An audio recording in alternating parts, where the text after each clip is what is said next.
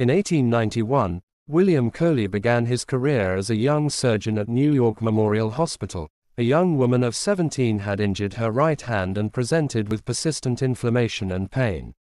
He diagnosed her lesion as a sarcoma of the bone and opted for amputation of her right arm below the elbow.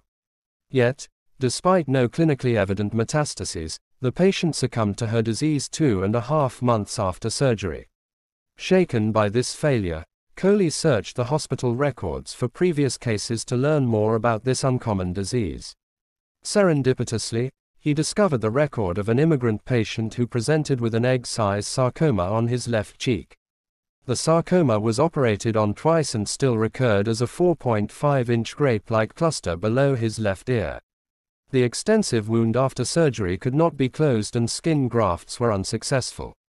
Ironically, this failure to close the wound would play a key part in the patient's eventual cure. The tumor progressed and a final operation only partially removed the tumor. The wound became severely infected with erysipelas by Streptococcus pyogenes and the patient developed a high fever.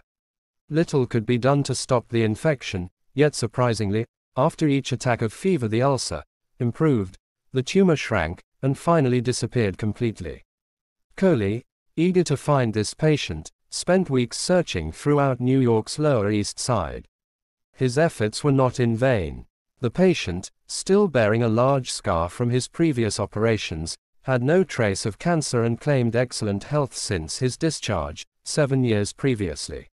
I wish our current doctors would also get the mindset and opportunities to indulge in research like this.